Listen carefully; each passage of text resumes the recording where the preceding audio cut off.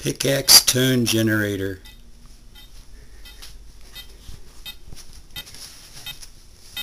This may not be the prettiest circuit I've built, but I did it in only a couple of hours for my nephew Chris, who has a band. Um, that I've got a PICAXE 08M2 processor, I've got a big knob and a small knob, and nice little uh, battery operated circuit that the large knob controls the rate of uh, the beeps.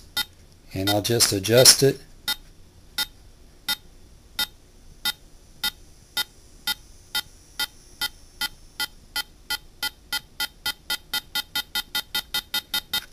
And so it goes from fast to slow. And the small knob does the tone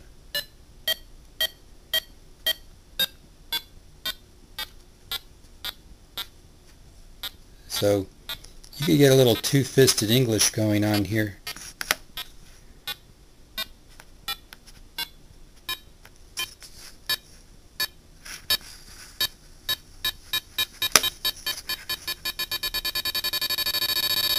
Ah, it's gonna blow!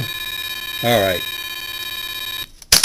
I bet my neighbor wishes that I'd um, do something about my alarm clock or whatever he thinks. But anyway, the first thought was use an old-fashioned 555. I've built 10 million 555 circuits uh, when I was cutting my teeth in electronics. And to do this with a 555 timer, you basically need two ICs. You need one to set the tone frequency and you need another to set uh, the output pulses of that tone. And so it would take two 555 timers and the way that it sets the frequency and the time duration are resistors and capacitors. And so all hardwired this would have taken all day to build.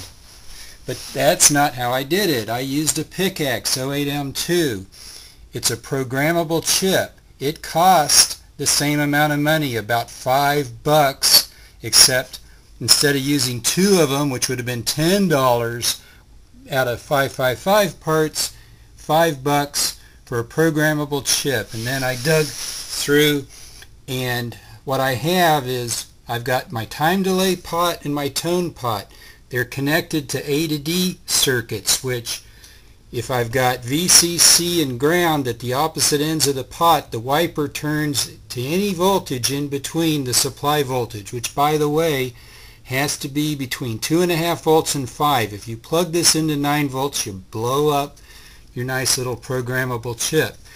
And um, the output I have going to a piezo speaker. Um, you could stick a series capacitor if you're using a, uh, like an 8 ohm speaker. And that's all. And then there's just simply five lines of code.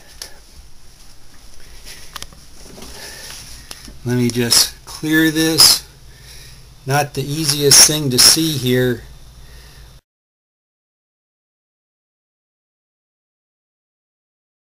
but um, yeah you can't see that at all I'll put a picture in but anyhow very satisfying project hope that my nephew enjoys it Mr. Dr. Reacto and uh, I need to build one of these for each of my granddaughters so that they can have some fun with it James out